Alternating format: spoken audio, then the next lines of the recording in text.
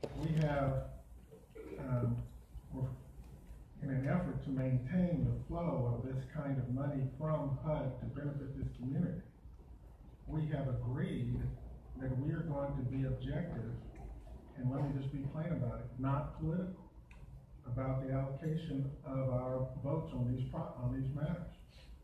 And we have created a process that has been worked through, uh, the department, the housing department, uh, housing committee, and ultimately distributed to the state and to the feds. A one, a process they understand and approve with respect to the use of federal money. And deviating from it, in other, using other words to deviate from it is just deviating from it. And when you tell somebody else that you're not going to respect what they have said are the rules for governing the use of their money, there will be consequences. So I don't think I can be more plain than that. We have a process. The process has produced an outcome.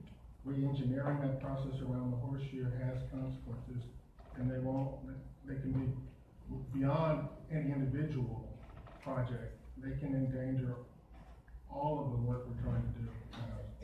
So a quick follow-up question, so voted with the district council member, always. After that letter we received, correct me if I'm wrong, we are at serious risk of losing the federal dollars if we go down a path that they don't really approve of, is that correct? That's my opinion. I don't know why you wanna risk being wrong. Thank you.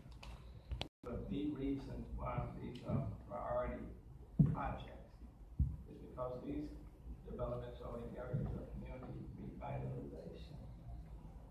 They're in areas of re- of community revitalization.